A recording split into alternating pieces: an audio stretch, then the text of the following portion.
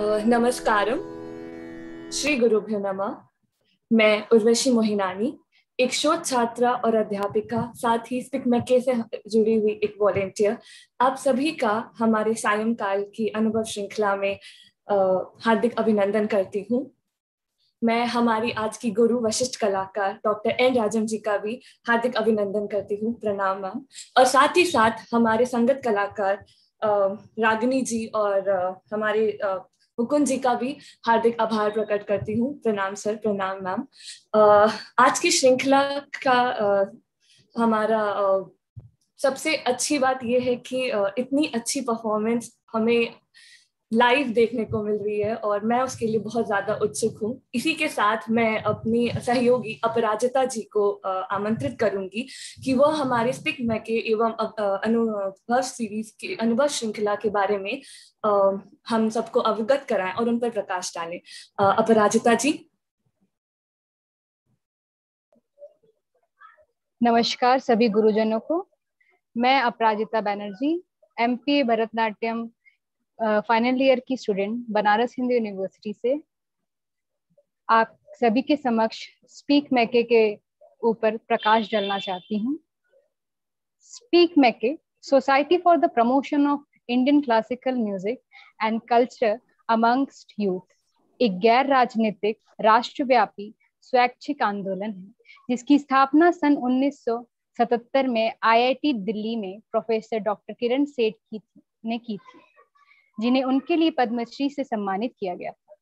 Speak मैके का उद्देश्य भारतीय विरासत के विभिन्न पहलुओं के बारे में जागरूकता बढ़ाकर और उसमें निहित मूल्यों को आत्मसात करने के लिए युवा मन को प्रेरित करके औपचारिक शिक्षा की गुणवत्ता को समृद्ध करना है। 2011 में स्पीक मैके को युवा विकास में योगदान के लिए राजीव गांधी सद्भावना पुरस्कार से सम्मानित किया गया। हर साल हम हज़ार से अधिक शहरों में, पंद्रह सौ से अधिक कार्यक्रमों में, पाँच हज़ार से अधिक कार्यक्रमों की व्यवस्था करते हैं, जो तीन मिलियन से अधिक छात्रों को छूते हैं। ये सभी कार्यक्रम हज़ारों संयोज वॉलेंटियर्स द्वारा आयोजित किया जाता है। अनुभव 2021 कोविड 19 महामारी से आई निराशा और घर पर ही रह के व्यस्त रहने की कोशिश से हम सभी जूझ रहे हैं। ऐसे में स्कूल और कॉलेज के युवाओं को खासकर दोहरी निराशा का सामना करना पड़ रहा है। स्पीक मैके ने हमेशा युवाओं को सकारात्मक सोच एवं ऊर्जा रखने के लिए प्रेरित किया है। हमने लगातार कोशिश की है कि स्कूल और कॉलेज के विद्यार्थियों को अपनी समृद्ध संस्कृति, सभ्यता और परंपराओं का ज्ञान प्राप्त हो। और ये उनकी पढ़ाई का हिस्सा बने। पिछले चौवालीस वर्षों से हम अपने इस लक्ष्य से जुड़े हुए हैं। अनुभव भी इसी दिशा में हमारा एक नया और ताज़ा प्रयोग है। पिछले वर्ष भी हमने अनुभव 2020 का ऑनलाइन आयोजन किया, जो कि बहुत ही सफल रहा। आदरणीय प्रधानमंत्री श्री नरेंद्र मोदी जी ने पिछले वर्ष एक जून को संदेश ऑडियो वीडियो मैसेज के माध्यम से स्पीक मैक के अनुभव का शुभारंभ किया पिछले वर्ष के सफल आयोजन के, आयोजन को देखते हुए हम इस वर्ष भी अनुभव ऑनलाइन का आयोजन कर रहे हैं, जिसमें घर पर रहते हुए ही युवाओं को कला और शिल्प से जुड़े विभिन्न क्षेत्रों के गुरुओं द्वारा सत्र दिए जाएँगे।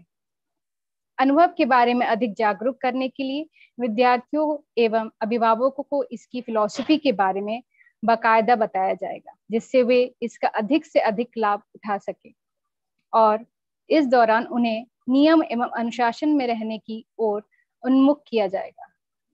धन्यवाद। धन्यवाद अपराजिता। हमें स्टिकमेक के एवं अनुभव श्रृंखला के बारे में इतनी अच्छी रुचि और अवगत कराने के लिए। तो चलिए, आइए हमारी आज के विशिष्ट कलाकार का हम परिचय देते हैं। डॉक्टर एन राजन जी, एक भारतीय वायलिन वादिका है, जो हिंदुस्तानी शास्त्रीय संगीत का प्रदर्शन करती हैं। वह बनारस हिंदू विश्वविद्यालय में संगीत की प्रोफेसर रही और साथ ही विभाग की प्रमुख और विश्वविद्यालय के प्रदर्शन कला संकाय की डेन भी बनी। डॉक्टर एन राजन जी का जन्म चेन्नई में 1938 में एक संगीत परिवार में हुआ था। उनके संगीत, उनके पिता विद्वान एक एन नारायण अय्यर कर्नाटक संगीत के एक प्रसिद्ध प्रतिपादक थे। राजन जी ने कर्नाटक संगीत में अपना, अपनी प्रारंभिक प्रशिक्षण अपने पिता के अधीन ही शुरू किया। उन्होंने मुसिरी सुब्रमण्यम अय्यर के अधीन प्रशिक्षण भी लिया और गायक ओंकारनाथ ठाकुर जी से राग विकास सीखा। साथ ही उन्होंने ख्याल गायकी का भी जन्म किया। राजन जी को भारत सरकार द्वारा पद्मश्री एवं पद्म भूषण भी प्रतिष्ठित उपाधियाँ मिली। साथ ही अन्य पुरस्कार जैसे संगीत नाटक अकादमी पुत्रराज सम्माना पुण्य पंडित पुरस्कार आदि अन्य पुरस्कार से भी उन्हें सहारा गया। मुझसे कोई भी त्रुटि हुई हो आपका परिचय देने के लिए मैम तो मैं आपसे क्षमा चाहती हूँ और अब मैं आपको हमारे समक्ष आमंत्रित करती हूँ। प्रणाम।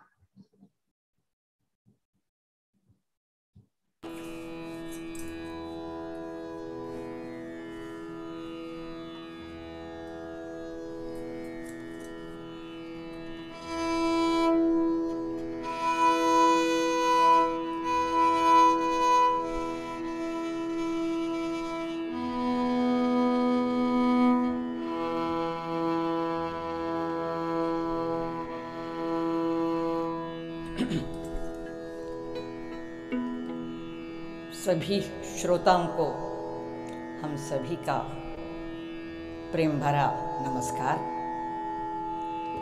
मौसम को ध्यान में रखते हुए राग मियाँ मल्लार से कार्यक्रम का आरंभ कर रहे हैं।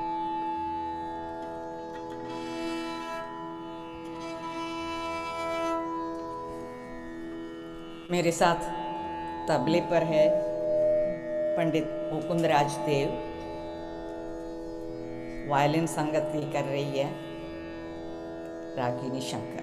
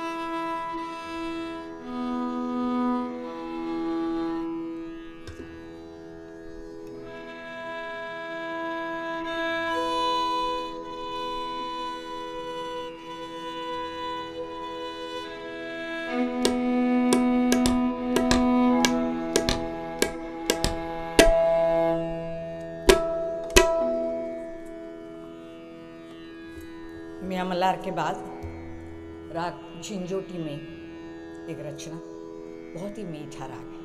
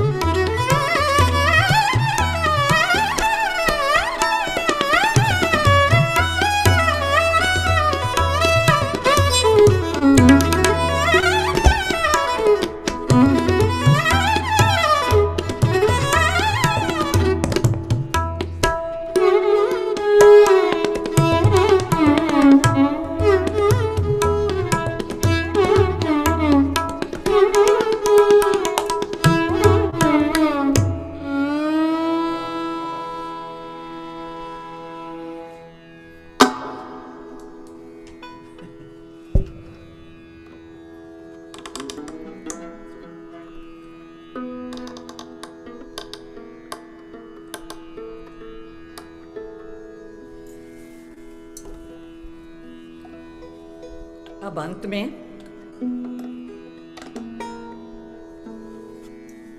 एक Banarasi Kajri.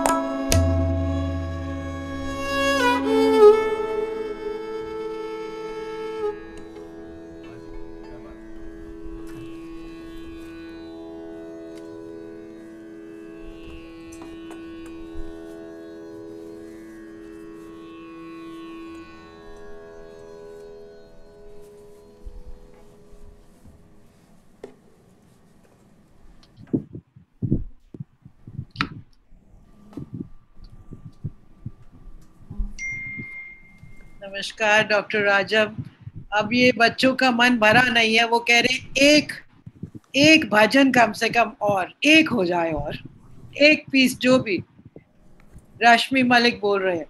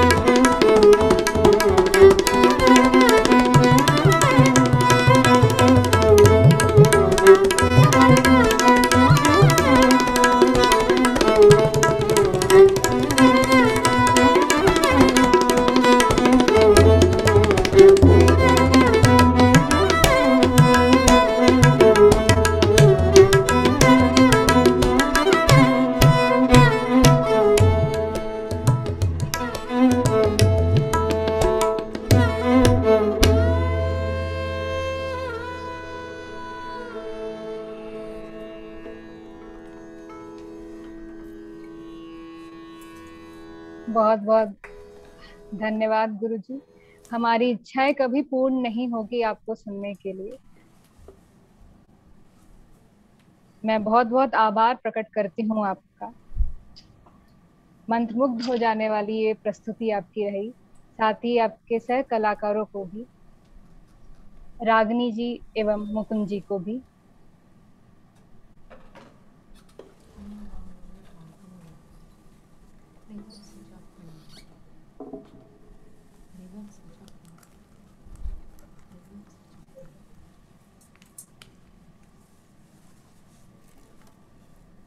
Am I audible now? या बहुत बहुत धन्यवाद गुरुजी आपका। हम हाँ। सभी मंत्रमुग्ध हो गए आपको आपकी प्रस्तुति सुनकर। और हमारी इच्छाएँ कभी पूर्ण नहीं होगी आपके हर एक वाद्य को सुनने के लिए हम हमेशा ही तत्पर रहेंगे। और बहुत बहुत आभार आपका भी और आपके सह कलाकारों का भी जिन्होंने आपका इतना साथ दिया। रागिनी जी एवं मुकुंद जी का भी। समयबद्ध होने के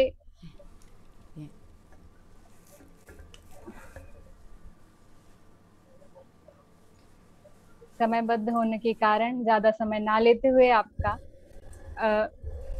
आपसे एक छोटा सा एक अनुरोध कि आपका आज का अ, आपको इत- आपको अपनी शिक्षा एवं तालीम आपको कहाँ से मिली अपनी और आपका आपकी जो ये जीवन की जर्नी और आपको ये वाद्य सीखने का प्रेरणा कहाँ से मिला आपको?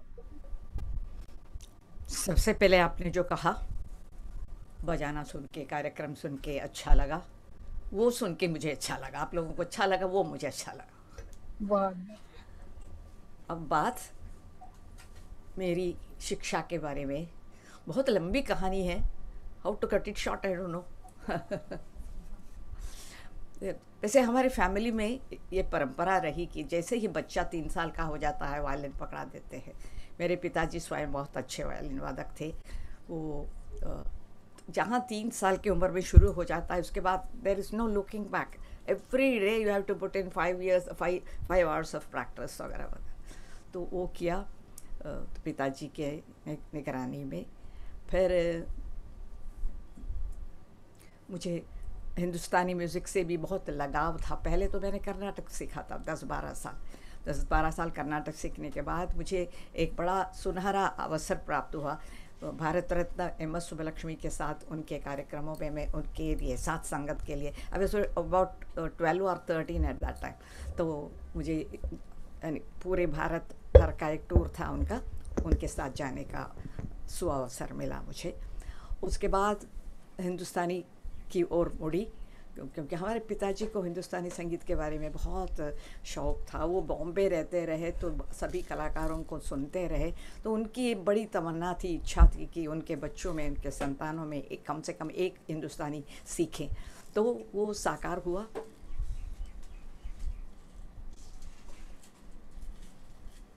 और कुछ बहुत बहुत हाँ, बहुत बहुत धन्यवाद गुरुजी। हाँ मैंने हाँ हिंदुस्तानी संगीत पंडित ओमकारनाथ जी ठाकुर जी से सीखा। उनको गुरु के रूप में पाने का सौभाग्य मुझे मिला। क्या? ये बहुत ही प्रेरणादायक रहा हमारे लिए भी और हमारे साथ सभी जुड़े हुए लाइव श्रोता लोगों के लिए भी। और समय ज़्यादा ना लेते हुए मैं एक धन्यवाद ज्ञापन देना चाहती हूँ हमारे सभी सपोर्टर्स का भी। Department of Youth Affairs, Minister of Youth Affairs and Sports, Minister of Textile, Minister of Culture, SRF Foundation, Ashok Leyland, IGNCA, Takshi, Dr.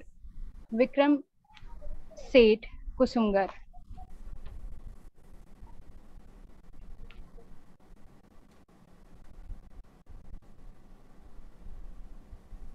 मैं एक और कि आपका क्या विचार है गुरु शिष्य परंपरा और हमारे स्पीक में के परिवार से जुड़े रहने का आपका इतना साल का एक योगदान एक सफ़र योगदान सफ़र और आपका एक्सपीरियंस आप हमारे साथ साझा करें। स्पीक मैके से जैसे उसका इंसेप्शन हुआ 78 79 तब से मैं पहले साल से जुड़ी हुई हूँ और प्रत्येक साल स्पिकमा के बच्चों के युवाओं युवा युवतियों के सेवा में हम हर साल कोने कोने तक पहुँच जाती हूँ बहुत अच्छा लगता है, जब बच्चों के सामने बजाते हैं, बच्चे धीरे धीरे समझने लगते हैं तो अच्छा लगता है। It's an inspiration for us अच्छा लगा। SPIC MACAY is doing wonderful work ऐसे विकट परिस्थिति में भी कार्यक्रम आयोजित कर रहे हैं और बच्चों को संगीत से, बच्चों को एक्सपोजर दे रहे हैं। बड़ी अच्छी बात है। स्पीक पैके परिवार हमेशा आपके लिए कृतज्ञ रहेगा। आपके इस समय एवं आपकी प्रस्तुति आप हमेशा हमारे आमंत्रण पे यहाँ आते हैं और हमें बहुत ही अद्भुत एक नज़ारा प्राप्त होता है, एक सुखद अनुभव प्राप्त होता है। और मैं ये भी जानना चाहूँगी कि आप जो हमारे जो नए रसिक जन हैं, जो म्यूज़िक के नए जो चाहते हैं वॉयलिन सीखना, उनके लिए आप क्या कहना चाहेंगे?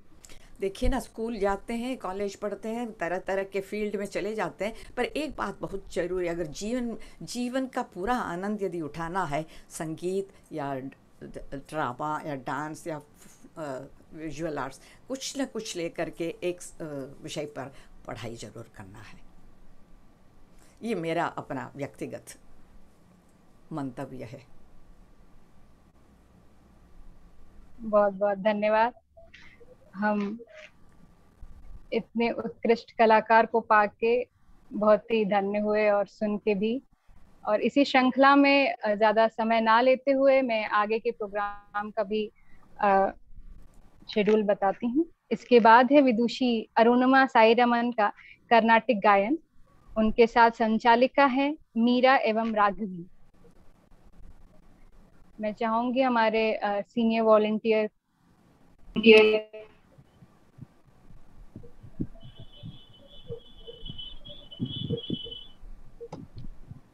रश्मि जी से कि वो कुछ रश्मि जी से कि वो कुछ शब्द डॉक्टर राजम इतना सुंदर म्यूज़िक सुन के कुछ अब वर्ड्स बचे नहीं है कुछ भी बोलने के लिए बस यही प्रार्थना करूँगी भगवान से कि आप ऐसे ही सालों साल और स्पिक के किले कोने कोने में जाते रहे और ये युवा पीढ़ी को इंस्पायर करते रहे just to be in to be in this concert today has been an experience of life for many of us over here today. That's all I can. May you continue to play like this for many, many, many years to come. Thank you. Mukund ji, Ragni ji, thank you. Thank you so much, Mukund ji, Ragni ji. अच्छा आपका आज संगत रहा बस अभी तो बच्चे अभी समय की वजह से बोल रहे वरना ये और मुझे पीछे से बोल रहे थे एक बोलिए और एक बोलिए और प्लीज़ बट अभी आगे भी कार्यक्रम है ना वो उसको उसका मज़ा लेने ले बच्चे